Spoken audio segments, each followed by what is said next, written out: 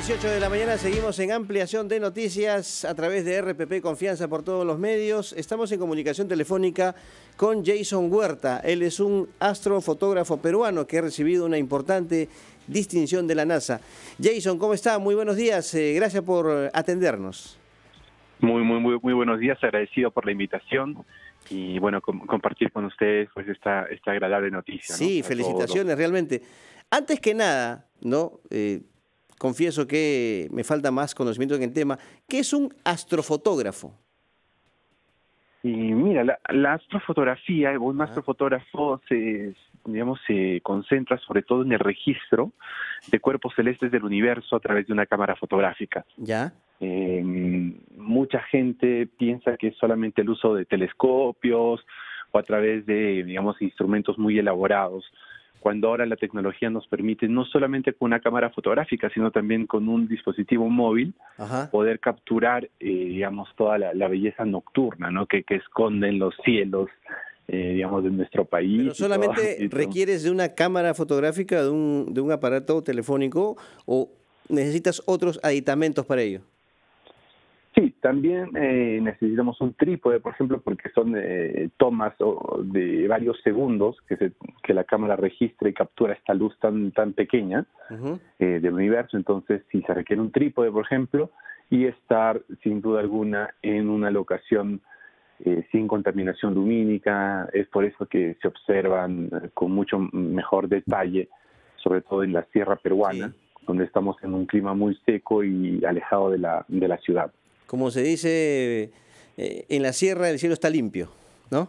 Así es, así es, así es. Contamos con las condiciones ideales, ¿no? Para no solamente eh, hacer fotografías, sino apreciar fenómenos. Por ejemplo, hace poco, hace unos días hubo la, lluvia de estrellas, las gemínidas, ¿no? Sí. Eh, entonces, eh, imagínate a 4.000 metros, sin ciudades alrededor, pues logras apreciar con mucho mayor detalle. exacto, exacto.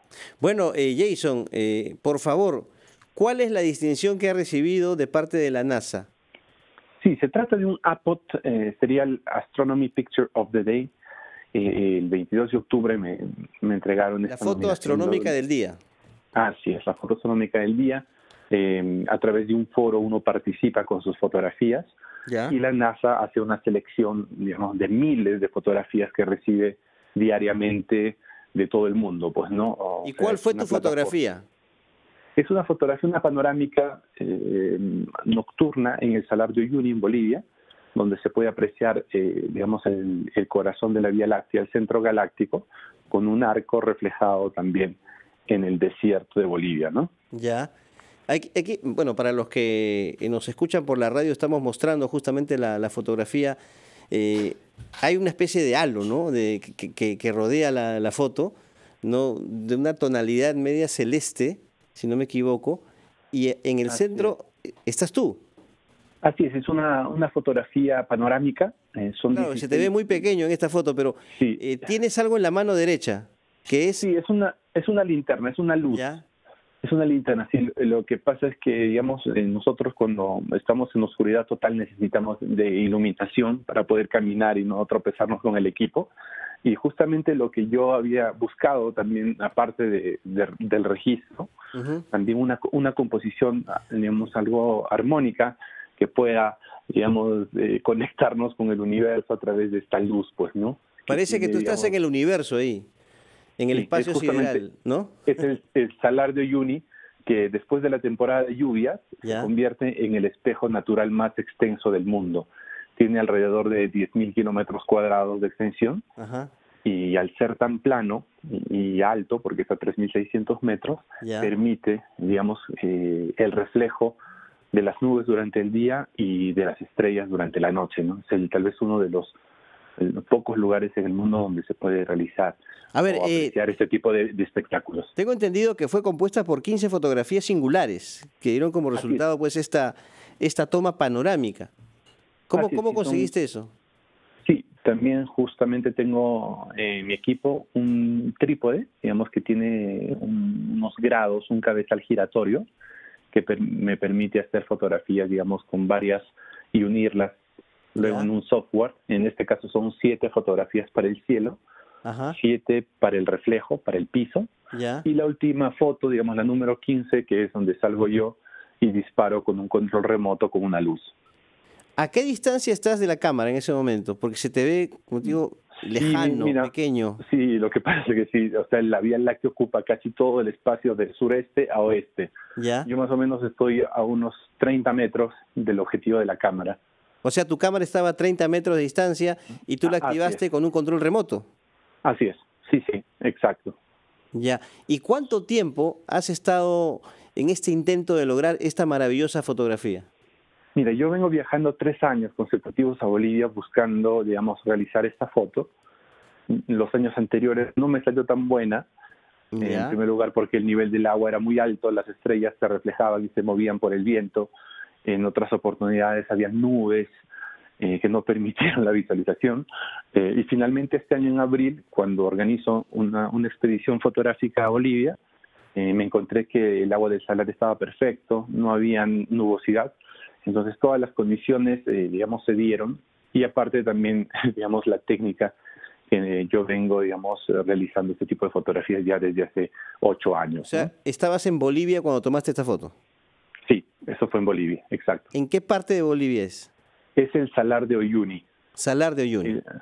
El, Salar de Oyuni, sí, que se encuentra a unas 800 kilómetros de la ciudad de La Paz al sur.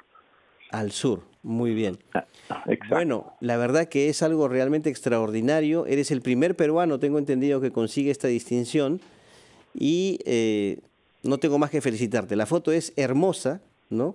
Todo lo que te ha costado, tres años intentando la, la, mejor vista, el momento respectivo, ¿no? El, momento preciso, como se dice, para captar la, la, imagen. Sí, así es la, Vía Láctea y, y bueno, ahora también aprovecho Em, para, para invitarlos, el 31 de diciembre está saliendo un curso en el portal doméstica.org, ¿Ya? Eh, donde enseño, digamos, a todos los apasionados que deseen aprender este tipo de técnicas a, poder conocer eh, la planificación, eh, realizar el revelado, realizar la toma. A partir del 31 de diciembre en el portal Doméstica estará saliendo el curso de astrofotografía para todos los que deseen introducirse en este mundo nocturno. Y así como conseguiste esta maravillosa obra, eh, ahora, ¿cuál es tu desafío? ¿Qué es lo que quieres lograr? ¿Tienes alguna meta específica en el, en el 2020? ¿Alguna imagen ¿no? que tengas en tu mente como una especie de, de sueño o propósito que quieres tú consolidar? Claro que sí. Ahora el reto es obtener un APOT, digamos, esta nominación de la NASA nuevamente, pero ya con un paisaje nuestro, ¿no? Tal vez uno de la Cordillera Blanca, aquí de Huaraz, eh, pero con un cielo peruano. Es el, próximo reto que tenemos para, para, el 2020. A propósito, a los amigos oyentes, APOT es Astronomy Picture of the Day, ¿no? que es la eh, fotografía astronómica del día. Bueno, eh, Jason, nuevamente mis felicitaciones por esta distinción. La NASA te ha reconocido ¿no? por una fotografía, la verdad, eh, me faltan adjetivos para calificarla, porque es eh, toda una obra de, arte, la verdad. Muchísimas gracias, muchísimas gracias. ¿Cuánta paciencia habrás tenido tú para lograr esta maravilla? Pero creo que así se consiguen los logros, ¿no? Con, con tenacidad, con perseverancia. Sí, si, fuese fácil, todo el mundo lo podría haber hecho. Pero, Hasta yo lo hubiese hecho, pero no, no, no. De, no, de, todas maneras hay la, no, la pasión y y el hecho de, que estamos también, como le digo, en una plataforma, eh, digamos, de práctica que es, digamos, la Cordillera Blanca aquí en Huaraz que nos permite realizar este tipo de, eventos, ¿no? Muy bien, Jason Huerta, astrofotógrafo peruano, muchas gracias y felicitaciones nuevamente. ¿ah? Genial, perfecto. Gracias a ustedes, muy amables. Podemos decir con toda certeza, señores, que Jason Huerta es un orgullo para el país. ¿ah? La fotografía que ha, que ha logrado es indescriptible. Titulares y luego seguimos con ampliación de noticias.